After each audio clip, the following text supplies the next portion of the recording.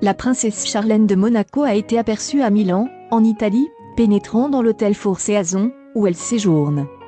Il s'agit de sa première apparition publique, depuis le démenti de sa séparation avec le prince Albert de Monaco. Vêtue d'un simple aux couleurs crème, et d'un pantalon noir, elle n'a porté pour décoration que des boucles d'oreilles. Comme le souligne le Daily un bijou symboliquement l'appelle. Son alliance. Alimentant une nouvelle fois les rumeurs de divorce suite à sa longue convalescence en 2021. Alors que le magazine français Royauté a affirmé que le couple serait en voie de séparation, ce dernier a formellement démenti via un communiqué du côté du palais. On y formellement.